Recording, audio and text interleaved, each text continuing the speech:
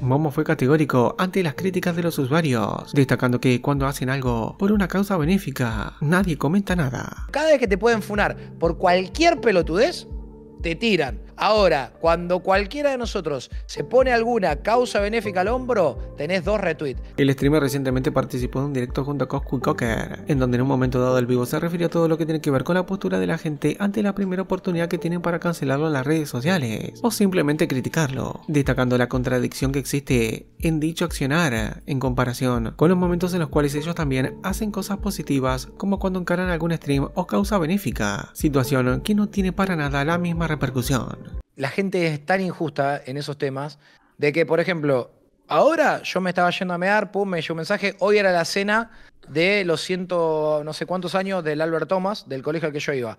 Eh, ¿Y saben lo que me mandaron? O sea, porque si yo, yo tenía que ir a la cena, eh, y estoy hablando a esta hora, un viernes, con el contador acerca de, porque yo voy a donar el techo del colegio, lo voy a pagar yo.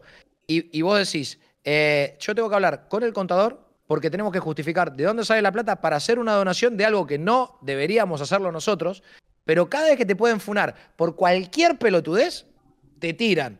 Ah, pero dijo, eh, en vez de decir eh, barco, dijo barca, fúnenlo. Ahora, cuando cualquiera de nosotros se pone alguna causa benéfica al hombro, tenés dos retweets, tenés dos likes, tenés dos que te acompañan. Y y después nadie, nadie dice nada. Para criticar tenés un montón y eso también te estresa. Y eso también te vuelve loco porque vos decís, hay mucha energía para la maldad y la mala leche y no hay energía para ponerla en las cosas que hay que ponerlas. Vos agarrás y decís, che, loco, ¿cuántos somos para esta causa benéfica? Aparecen tres. Y después, cuando, che, vamos a hablar mal de este, dos millones de likes, vamos a funar, vamos a hacer tendencia, vamos...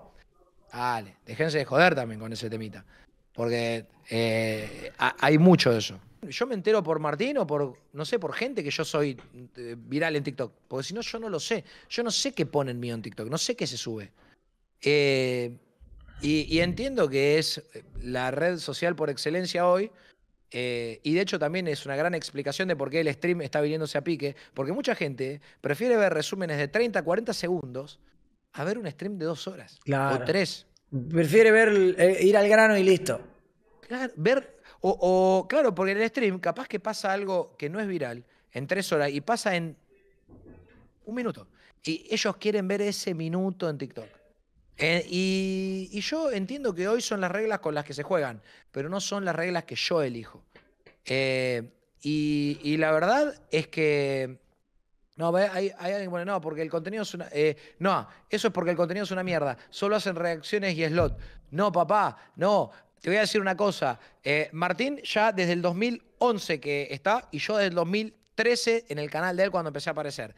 Son 10 años, ¿querés que te ponga? 10 años de hacer contenido. ¿Sabes cómo te, te quiero ver a vos? 10 años pensando todos los días. Porque el stream no es prender una vez por mes. El stream era aprender 10, 15 veces por mes. Y después, si tenés un canal de YouTube, pensar el contenido, eh, poner un cámara, si es que tenés para poner un cámara, eh, hacer el guion. Son seis redes sociales. Tenés que reinventarte en todas y, y tenés que mantenerte en todas. Y no puedes subir en lo mismo, lo mismo a todas. Son seis redes sociales.